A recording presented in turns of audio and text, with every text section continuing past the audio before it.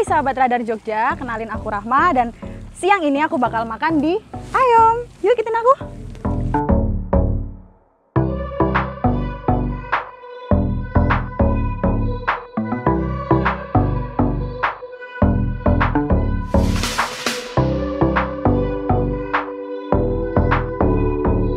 Jadi pikiran kita untuk membuka Ayom ini dari COVID kemarin. Nah, karena social distancing dan banyak keluarga yang istilahnya terpecah gitu loh. Jadi kita mendasangi buat membangun Ayom ini sebagai wadah di mana keluarga itu bisa kembali akrab, kembali erat dan kembali bersatu gitu. Konsep dari Resto Ayom sendiri kita menyediakan ruang outdoor dan indoor di mana kita adalah restoran yang ramah anak, ramah keluarga dan nyaman. Di mana kan restoran yang lain kan itu sekedar makan. Kita nggak sekedar makan, kita bisa bercerita, anak-anak bisa main di sini dengan rumput-rumputnya yang asri. Terus kita kembali ke alam gitu konsepnya. Kita namanya Ayom itu dalam arti mengayomi. Jadi semua yang datang ke sini kita ayomi dan semua yang datang ke sini harapannya kita aman, nyaman, serta betah tinggal di sini.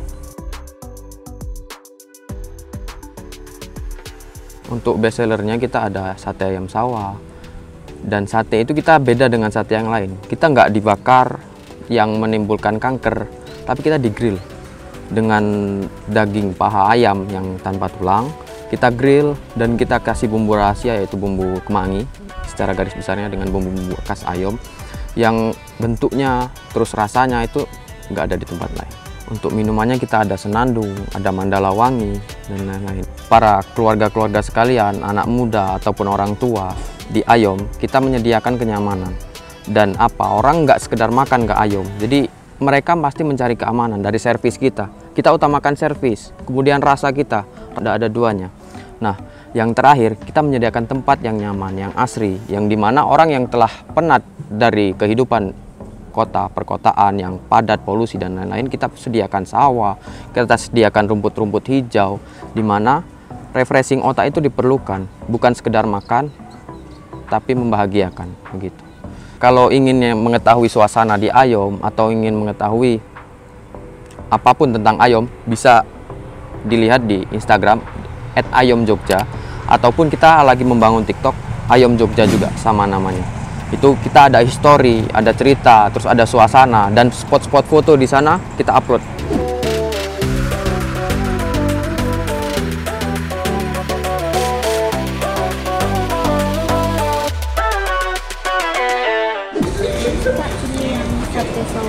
Oke. Untuk ini pakai ayam.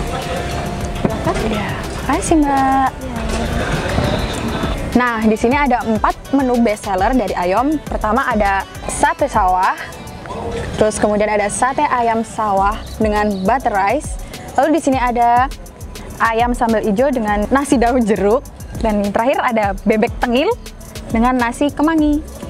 Nah, di sini aku mau nyobain yang mana dulu ya? Soalnya kelihatan enak semua nih. Kayaknya sate dulu nih. Hmm.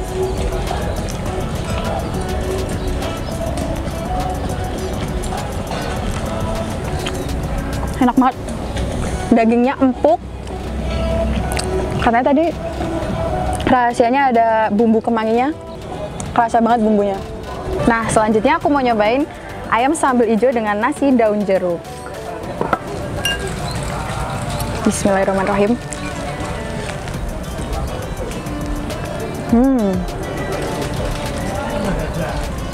Nasi daun jeruknya enak banget.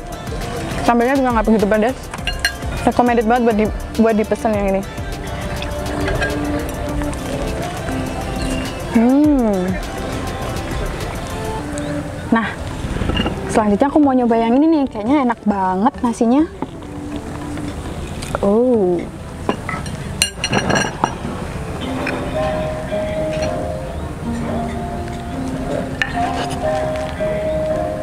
Kita cobain ya, pakai sambelnya.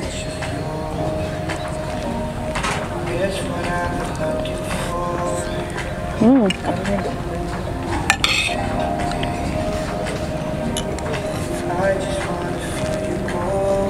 Enak banget.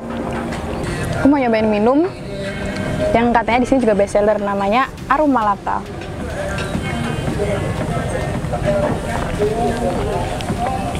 Seger banget.